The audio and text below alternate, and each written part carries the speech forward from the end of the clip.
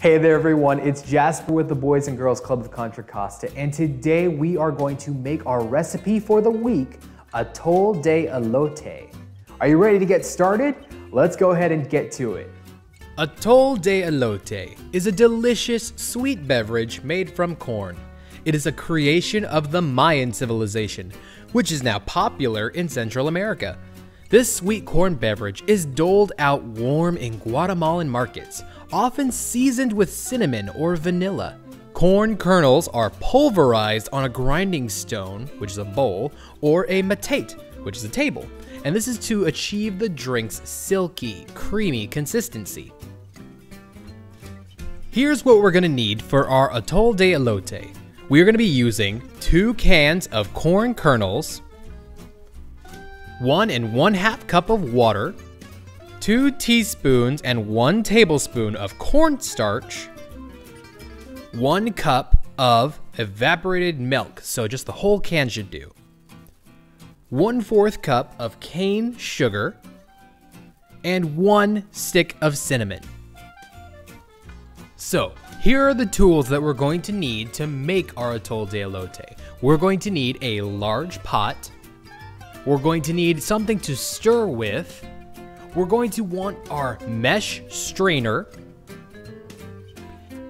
And we are going to, depending on if you have one or not, use a food processor, a blender, or we're going to need a Ziploc bag with a rolling pin or something that can squish things. But let's go ahead and get started. First, we're going to open our canned corn and drain and rinse the corn in our strainer.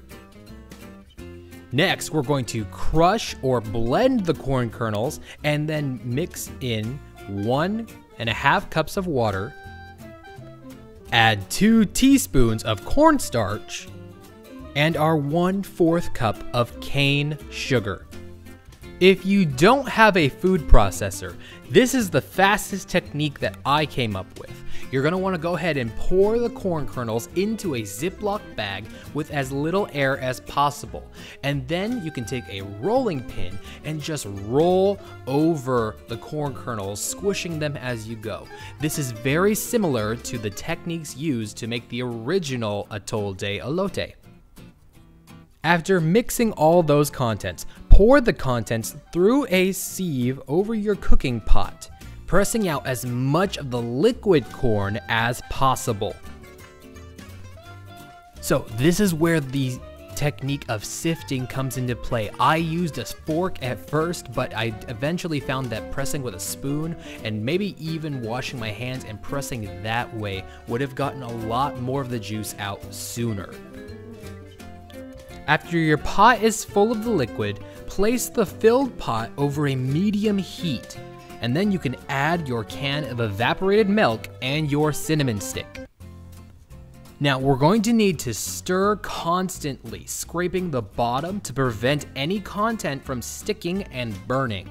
So we're gonna be here for a little while. You're just gonna wanna keep on stirring and stirring it, just noticing that you'll have steam rising off of the drink. This is good. You just wanna consistently stir for maybe about 10 minutes.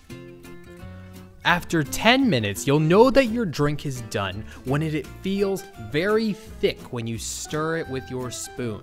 At that point, when you have reached that consistency, you are done.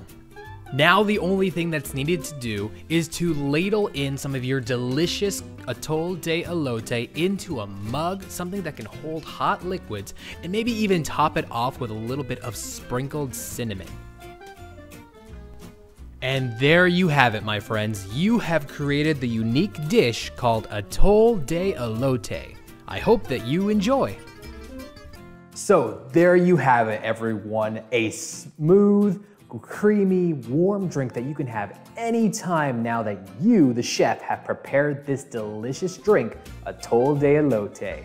If you like this video, go ahead and leave a like, subscribe, and I will see you in the next recipe. Remember, the most important ingredient to any recipe is you. All right? So, see you next time, everyone. Take care.